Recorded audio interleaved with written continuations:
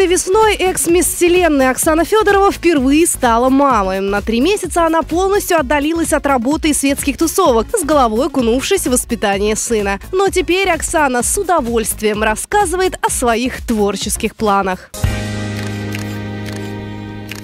Мне как-то хотелось э, по-особенному отметить свой день рождения, потому что когда я отмечала 30-летие, э, я его отмечала тоже с детьми делала благотворительный праздник в Ногинске, и куда пригласила э, детей из детских домов. Там было 150 человек.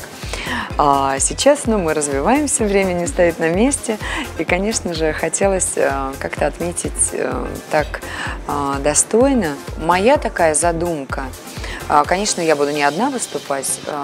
У нас будет два отделения. Вот. И мне будут помогать мои друзья-артисты, вот, которые разделили мои взгляды, идеи и тоже с удовольствием выступят для детей. Я буду исполнять э, в первом отделении классические композиции, это романсы, э, и также с, э, с хором мальчиков э, у нас э, будет композиция «Санта-Лючия». А во втором отделении это будут эстрадные песни из моего альбома, несколько. Для сына такого ничего достойного нет. А вот для мужа есть песни, которые я э, посвящу ему. Просто э, вот еще времени слишком мало было после того, как э, появился Федор, но хочется еще, э, чтобы сын присутствовал в зале. Поэтому, может быть, я и не так стремилась особенно посвящать песню сыну, потому что его не будет. Не случайно была выбрана эта площадка, Кремлевский дворец, поскольку э, для многих детей э, вот хотелось сделать таких, э, такой праздник, потому что многие даже не представляют, что это такое, никогда не были в Кремле. Такой предновогодний настрой на праздник. Вот. И, конечно же, где мне, мне бы хотелось рассказать о своей истории, потому что будет драматургия, я хочу построить это так, э, э, чтобы это и смыслово было значимо, потому что самое главное, ведь многие дети, да, которые не имеют возможности нормально и полноценно э, развиваться и осуществлять свои мечты, несмотря на это, необходимо верить в то, что ты действительно хочешь сделать. И вот порой таким детям нужен, нужен стимул вдохновение какое-то, вот толчок, чтобы э, они понимали, что они не одиноки, что они э, такие же как и все, и чтобы у них были силы, да, прежде всего моральные, для того, чтобы работать, э, учиться и добиваться своих целей. Вот. И нас поддержало правительство Москвы, нас поддержал Кремлевский дворец, в общем, много э, людей, которые откликнулись и э, на эту идею и нам помогают. И, конечно же, в будущем хотелось бы сделать ежегодным такое мероприятие. Он меня дисциплинировал. Я могу сказать, что я научилась планировать свой день, потому что э, у него график, режим, и мне приходится подстраиваться, конечно, под режим ребенка, чтобы все успевать. Вот. Нет, спит ночами, слава богу, сейчас уже, да, сейчас уже спит, и вот, достаточно спокойно. И в этом, конечно, нам повезло, что не так много проблем. Но уже начинает понимать, уже требует внимания, уже, да, вот э, когда я ухожу, и уже начинает понимать, что мама уходит. Родился, конечно, копия папа, вот, э, а потом стали проявляться мои черты, и я могу сказать, что что-то от папы, что-то от меня, не даже в характере какие-то повадки э, мои, э, какие-то я уже вижу, что от папы. Э, но в любом случае это наша радость. Надеюсь, что мы не будем останавливаться на достигнутом. Вот, не хотелось бы делать такой большой перерыв. Вот, пока это все свежо еще в, в памяти, еще есть силы. И, конечно же, хочется, чтобы еще были дети. Как говорит папа, у меня две Феди. Один Федя и вторая Федя. А, нет, Федор, э, мы как-то, когда выбирали имена, женское мы не сразу выбрали, я поняла, что будет мальчишка. А Федор как-то сразу легло, и мы посмотрели, что это близко по святкам, и что он означает Божий дар. И это действительно для нас был Божий дар. Я веду альбом специальный. Мне подарили э, вот э, в течение года, я записываю там, когда там первый раз э, взял ложку, когда там зубик прорезался, у нас вот недавно прорезались зубики. Веду, делаю какие-то а, заметки, фотографии. А, вот, и на год делаем вот такой альбом.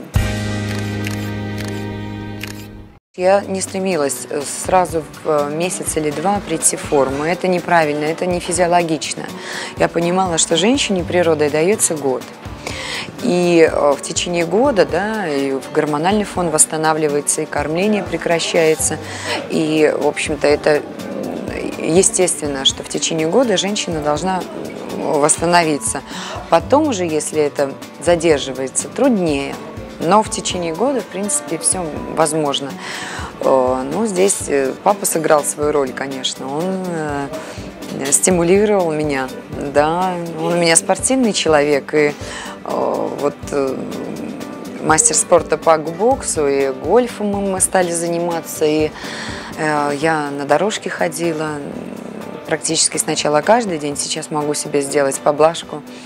Вот. А так, конечно, без его чуткого руководства мне бы было трудно. Я бы чуть-чуть попозже стала обращать на это внимание. Все-таки тяжело. Багира сейчас уже привыкла. Она уже такой стража, стража Федина. Всегда, когда он спит или гуляет, она его охраняет. Вот.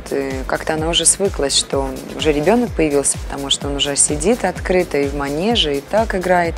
И, конечно, поначалу она не могла понять, почему э, на нее внимание не обращают, принимала позы, э, вот такие, как принимает ребенок. Ну, просто удивительно, насколько, да, вот э, мир природы все-таки он особенный. И она чувствовала себя хозяйкой в доме, а тут появился человечек маленький, возле вокруг которого все вертится. И, конечно, она уже и голодовки нам устраивала были. Да, так переживала сильно. Угу. Сейчас уже тьфу -тьфу, слава богу. Вот, вроде все нормализовалось. Меня просто пригласили в школу Тренди Мама. Это а, компания Procter делает. Э, такой проект и э, пригласили поучаствовать, э, сделать свой блог и поделиться своими советами, наблюдениями, вот какими-то ну, каким-то жизненным опытом, вот, и такой интерактив с мамами будущими и уже молодыми мамами устроить, и уже посыпались вопросы, вот, потому что я как-то так достаточно внимательно и скрупулезно подошла к этому вопросу. И, и когда мы делали интервью, тоже видео мы записывали, ну и э, говорили ребята, что действительно очень много интересного, потому что у каждого свой опыт разный, и не всегда... Э, вот я, например, э, совершенно ни разу не читала интернет, вот, если только официальные какие-то сайты. Вот. Э, книгу одну прочитала, которая бы позволяла настроиться на естественный процесс родов. Там не было совершенно а, написано ничего о том, как ухаживать за ребенком, что понадобится, потому что каждый ребенок индивидуальность. И э, то, что ты, допустим, а, заучил и знаешь, может совершенно не пригодиться. Я вот так все училась по ходу. Эта книга мне помогла, и я сумела ну, как-то настроиться на то, чтобы э, роды прошли естественно. Как-то я так проснулась и э, вот поняла, что да, этот, этого человека я долго ждала, и он э, понял меня. Самое главное, что он понял мою душу. Он смог почувствовать меня нутром. Вот что очень важно. Э, конечно, это не может не вызвать взаимные чувства. И вот я могу сказать, что любовь, она не падает на голову вот из ниоткуда. Это рождается да, из какой-то определенной точки и потом э, расцветает.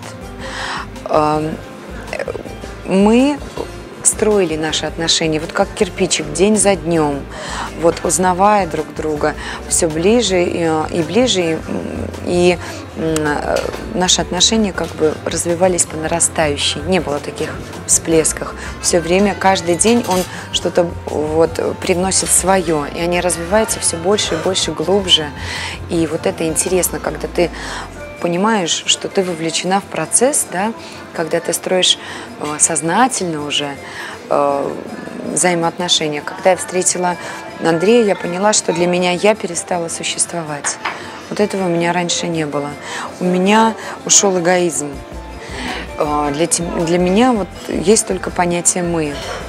И как-то сказать «я» уже, да, уже реже я произношу это. Вот. И впервые я ощутила, что у меня есть дом, что есть наш дом, э, есть наша семья, и мы вместе. Вот я ощутила, что мы вместе. Я поняла, что насколько приятно быть э, замужем, насколько это правильная позиция жен, э, женская, когда ты не берешь на себя функции тебе не свойственной, не свойственной женской природе когда тебе не нужно решать какие-то вопросы, которые ты решать не должна. Это прерогатива мужчины. Когда ты четко понимаешь, вот, я это всегда чувствовала. Просто я э, только с э, Андреем поняла, это, э, как это работает в жизни, на практике. Венчание э, – это достаточно такой важный и нужный процесс, но к этому э, нужно подходить до конца, понимая, что э, несет в себе сам, само это действие.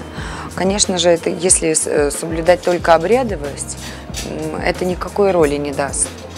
Вот, если будет сам, сам процесс и сама церемония, а понимания нет, зачем это нужно и для чего – и что это за собой влечет, тогда смысла нет э, в этом. К этому нужно подготовиться, и это нужно ощутить. Мои наблюдения показывают, что э, те пары, где у кого э, единое мировоззрение и какая-то духовная база, вот эти отношения долговечны. Все, что построено ну, на каких-то других принципах, принципах, оно все имеет рано или поздно свой конец. А когда люди понимают, что они вместе идут до конца, чтобы не случилось, но это нужно почувствовать себе. Кто-то это раньше может почувствовать, кто-то позже. Все равно нужно понимать, что испытания будут, и нужно создать вот такой фундамент, который бы выдержал. Сейчас дом очень изменился. Мы практически нет ни одного нетронутого места. Мы везде сделали ремонт, облагородили. А, я занималась интерьером, шторами, мебель мы поменяли. То есть все изменилось. Он стал более светлым, и в нем появилась жизнь. Вот, стал уютным. Конечно, и даже замечают наши друзья, когда приходят в гости, что действительно очень тепло. Вот, и тем более сейчас и мама там, в общем, две, две даже, да. И как-то сразу прибавилось людей. Вот, так мы жили вдвоем, ну, с помощниками, а сейчас вот уже большая семья. И, конечно, совсем жизнь по-другому заиграла. Вот, когда дом обрастает домочадцами, он э, туда хочется возвращаться. Понимаешь, что тебя кто-то ждет, тебе нужно спешить домой. И э, вот я ощущаю, да, для меня дом это не, не перевалочный пункт, для меня дом это крепость все-таки, где я могу укрыться от невзгод, могу э, публичной жизни э, прийти домой. Я понимаю, что здесь мне тепло, уютно, здесь есть в каждом э, не знаю, вложенном моменте моя душа в каждом, в, в каждом приборе, в каждом предмете. И, конечно, все пропитано, пропитано этой энергетикой. И, конечно, тогда ты получаешь полный релакс и отдыхаешь, душой отдыхаешь. Вот что для меня дома. А потом можно идти в бой. Сначала я была в раздумьях, долго думала над этим, но все-таки э, глава семьи мужчина, и все должны, члены семьи, носить фамилию мужа. Ну, не должны, у каждой семье по-разному, но в моем случае я поняла, что так будет более правильнее. Так как бы круг замкнулся. Я думаю, что мы будем дома, мы наряжаем елку. Э, каждый год у нас на улице есть и в доме. Э, ну, украшаем территорию. Вот, э, я думаю, что это будет дома. Как правило, мы особых отмечаний на, в сам Новый год не делаем. Мы вот в прошлый Новый год отмечали с мужем вдвоем. Но как-то так собрались, посидели, выпили шампанского, посмотрели телевизор и пошли спать. А, а что нельзя было сказать о тех новых годах, которые были раньше. То есть практически каждый Новый год я работала. И я его не отмечала дома. Ну, а смысл отмечать, когда, в принципе, ну, сам с собой тоже не будешь справлять Новый год, поэтому э, э, лучше на работе. А сейчас я отказываюсь работать в Новый год, потому что все-таки хочу Э, посвящать семье. Но на самом деле это не самый главный наш праздник. Вот, есть еще и Рождество, которое мы тоже э, любим отмечать. И как-то больше вкладываем смысл в этом. Во-первых, я собираюсь э, музыкальное образование получить. Я очень этого хочу и хочу осуществить на следующий год. Я уже планирую в следующем году а, сольный свой а, концерт и выступление уже коммерческого характера. Вот, и наверняка это будет развиваться, да, моя музыкальная деятельность. И хочется телевизионный проект, чтобы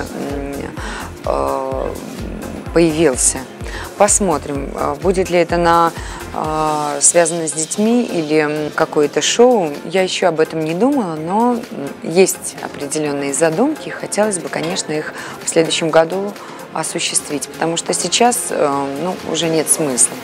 Уже совсем немного времени осталось, а на следующий год уже буду что-то думать. Я вот чувствую, да, Э, что все равно рано или поздно а, планы какие-то, они начинают осуществляться. Вот самое э, главное всегда быть к этому готовым. Потому что э, о своих желаниях не надо забывать, потому что они иногда приходят, и ты врасплох их встречаешь. И не надо бояться осуществления своих задумок и мечтаний. Если что-то делаешь, то ты понимаешь, для чего и зачем. Не просто так вот э, э, сделал какой-то проект, получил дивиденды и все на этом. А хочется, чтобы это было, ну, приносило удовольствие. И тогда и, э, и зритель тоже будет это чувствовать.